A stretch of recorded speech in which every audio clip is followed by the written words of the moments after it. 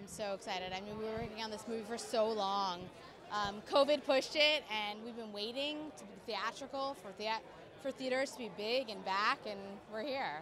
I mean, I've been working on this movie for 10 years, so it's um, it's really rarefied air that we're in because all it's like Basil, me, Keanu, and Chad, four people working on the same movies for 10 years. It's really special. So it's been great.